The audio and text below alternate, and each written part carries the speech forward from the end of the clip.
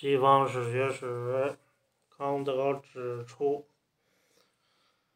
人性中的恶与自私体现在每个人的身上，这恰好成就了人类全体的美好。在这里，康德显得出了恶推动历史的结论。后来，黑格尔的有关论述显然受到了康德的影响。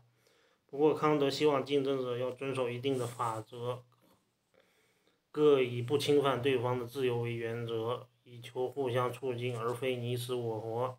康德认为，历史的最终目标是要建立一个内部的立宪共和体，外部是国际永久和平。